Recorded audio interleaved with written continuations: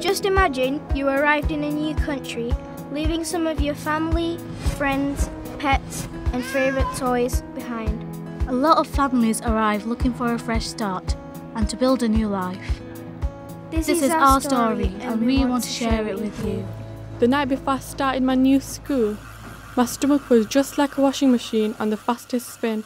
My brain was like a gold racing car, speeding at zillion gajillion miles an hour far into space. I had nightmares thinking the children would be like giants. What if they made fun of me? What if they thought I was stupid? I felt so alone. When I arrived at school, there were so many children. They were like bees swarming to a classroom. My heart was pounding. I was excited, frightened, helpless. I just wanted to be sick. There were so many corridors, I felt like I was walking for miles, for days, for years, lost in a maze.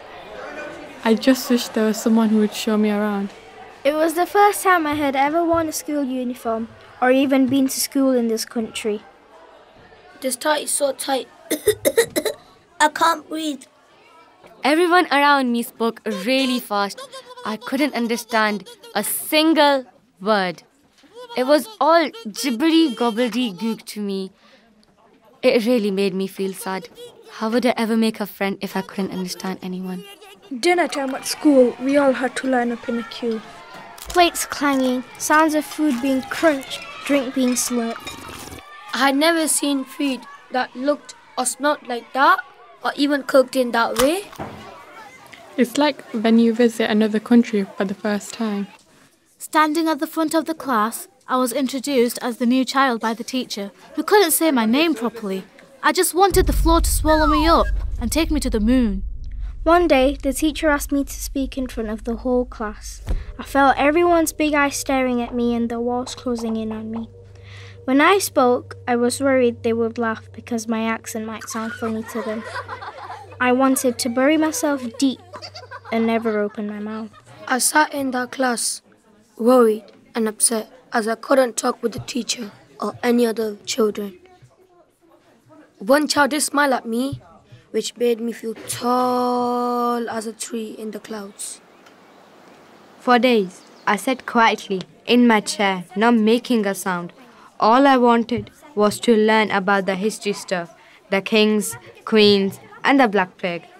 Eh, Rats. Even though I couldn't talk to you in English, I was trying my best. I didn't want the class to get upset or angry with me. Just imagine if this were you. Weeks passed by, and at playtime, I watched a thousand smiling faces playing games, laughing, screaming, and singing. I just want someone to race me, to pass me the ball, and let me join in. It's hard when no one knows your name or feels they can't talk to you because you don't speak the same language. Everyone just wants to make new friends, and you can help by smiling and asking me to play. It would really help me if you learned to say hello or do you want to play in my language. It can take a while to get used to new things. Now I'm beginning to settle more in school. I've made some new friends. I love macaroni cheese, and my English is starting to improve. I feel a lot happier.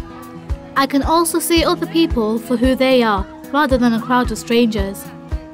This is our story, but you have the chance to make things better for someone else starting a new school. A school just like yours. All you have to do is smile, let them play with you, and learn to say their name. That was awesome.